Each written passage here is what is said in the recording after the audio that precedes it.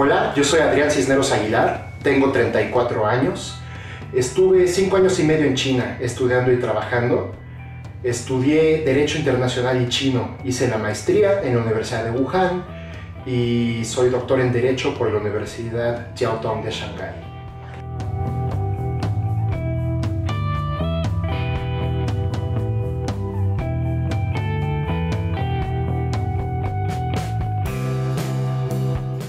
Me desperté con, con, una idea muy enraizada en mi cerebro de que el futuro estaba en China.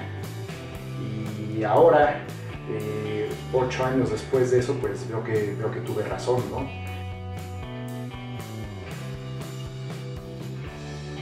Realmente las universidades de China superaron mis expectativas en cualquier sentido. Tuve experiencias académicas extracurriculares que jamás hubiera podido tener en, en México. Me tocó estudiar con, eh, con, con, compañeros refugiados, me tocó estudiar con, con compañeros que venían, eh, que venían de Xinjiang, que venían del Tibet.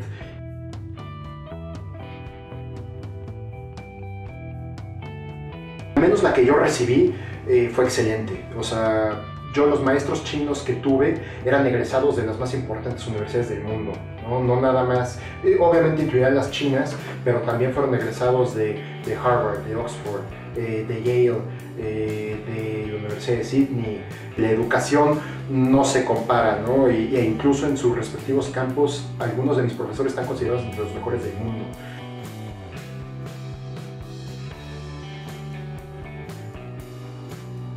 Tuve, tuve de hecho dos becas para el doctorado, una del municipio de Shanghái y otra del CONACYT. Y yo me atrevería a decir que CONACYT me dio la beca porque vio que la Universidad Jiaotong de Shanghái estaba entre las 100 mejores del mundo. Yo llegué a China sin hablar chino, yo llegué ahí a aprender chino. Llega un momento en que si uno va a aprender, sobre todo cuestiones que tienen que ver con leyes, uno tiene que leer en la, en la lengua original. Si uno va y hace negocios con chicos, llega un momento en que uno no puede depender, de, depender de los traductores, ¿no?